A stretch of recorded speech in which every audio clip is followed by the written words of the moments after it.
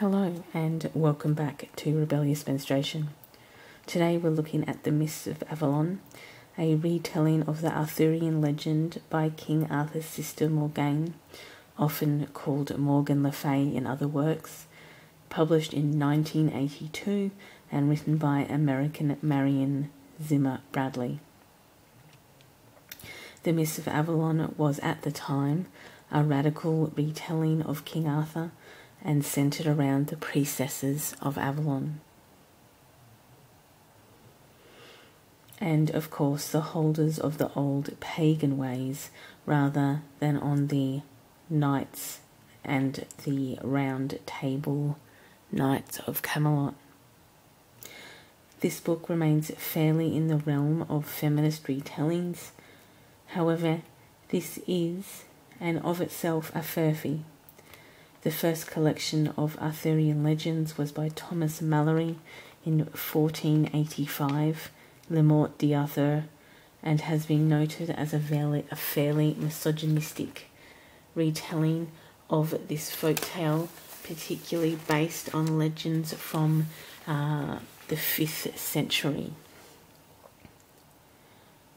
And it was actually kind of well known at the time as being a misogynistic retelling of these legends because, of course, these legends existed prior to Le Morte d'Arthur. Obviously, when this severely one dimensional tale where, men's are, where men are heroes and women, like Morgan Le Fay, are sorceresses without any other motivation or characterization, become a canon for all of the myths any other retelling then becomes problematic.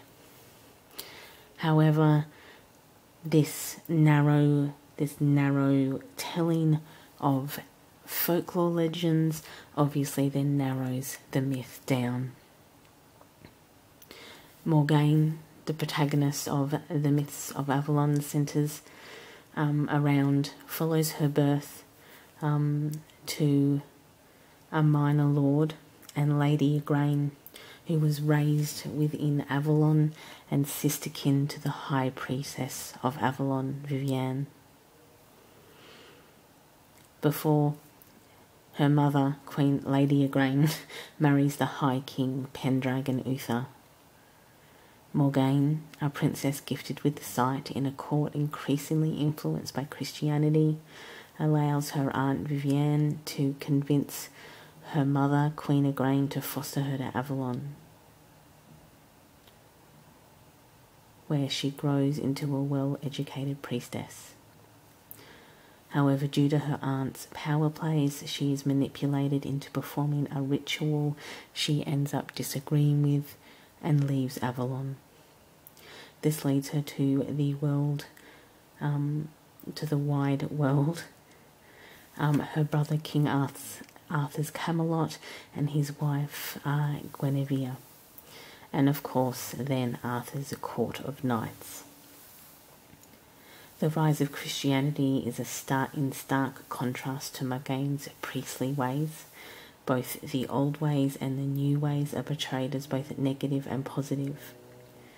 Morgaine's initial running from Avalon was directly due to the High Priestess's intentional manipulations and negative that Morgaine never really gets over, and this manipulation has far reaching and dire consequences in the novel. While quite a few of the criticisms are centered around the negative portrayal of Christianity, the old pagan ways are not presented in star light either. Most of the in book commentary from priestesses such as Morgaine and Vivienne uh, that disregard Christianity, a commentary on the lack of education um, in in regards to educating the priests of Christianity, and that only men are betrayed. Unlike paganism, um, there where there was representation representation by both men and women, because this represents the balance of life, and that sex is not shameful but part of this balance the contrast with Christian the portrayal of Christianity, where the silencing of women and sexuality by undereducated priests of course, is going to come off in a negative light. The moral compass of both pagan and Christianity are often and frequently portrayed as skewed and power driven. Vivienne will not admit defeat or that her actions have devastating consequences to both her family and Avalon. Priests will not admit their misogyny or restrictions, and it has devastating consequences for King Arthur and Camelot. Now, on to Marion Zimmer Bradley, who in recent years has become quite a controversial figure. Bradley, June 3rd, 1930 to September 25th, 1999, wrote over 30 novels, including the Darkover series and, of course, The Mists of Avalon, which spawned several prequels and sequels. Bar- Bradley is a well known fantasy and science fiction writer and encouraged fan fiction of the Darkover series, but became embroiled in controversy when a fan story had a similar uh, arc to an unpublished manuscript of Bradley's.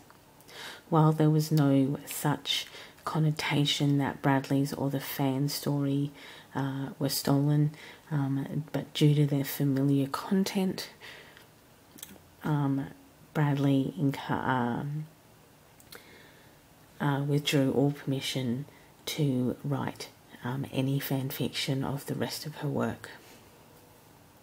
However, Bradley encouraged legitimate submissions and legitimate written submissions to the Sword and Sorceress's anthology fantasy series. She was editing the last issue when she died in 1999.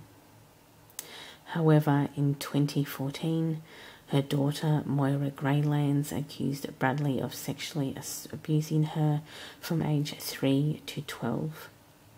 Her father, Walter H. Breen, was also reported for child molestation and he was convicted. Bradley was well aware, publicly admitted to be well aware of her um, of her husband's abuse well before the ac- accusations became public and the uh, legal drama and convictions were real. Both Moira and Mark Greyland have since spoken about their experiences within a household where both their parents were child abusers and molesters. In response, quite a few publishers chose to donate to Save the Children and the RAINN Network. Uh, both of these charities will be linked below. Obviously, these allegations should be taken very seriously, and these uh, colour the experience of what was once a favourite book. Thanks for watching. Enjoy your morning, afternoon, or evening, depending on where you are in the day, and I will see you all in the next video. Bye.